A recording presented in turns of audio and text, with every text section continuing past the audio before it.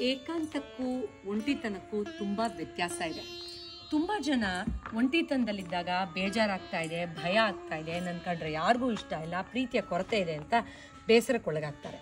ಆದರೆ ಏಕಾಂತ ಅನ್ನೋದು ನಮ್ಮೊಳಗೆ ನಾವು ಆಳವಾಗಿ ಹಿಡಿದು, ನಮ್ಮೊಳಗಿರುವ ಅಮೋಘವಾದ ಶಕ್ತಿಯನ್ನು ಅನಾವರಣ ಮಾಡೋಕ್ಕೆ ಸಹಾಯ ಮಾಡುವಂತಹ ಅದ್ಭುತ ಅವಕಾಶ.